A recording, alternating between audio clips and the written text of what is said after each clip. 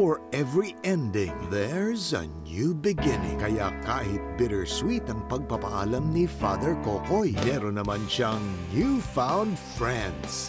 Around that age, meron ako naging kaaway. And the weird thing is, kapangalan mo talaga. Grade 3 ba nangyari? Yeah, yeah. Paano mo nalaman?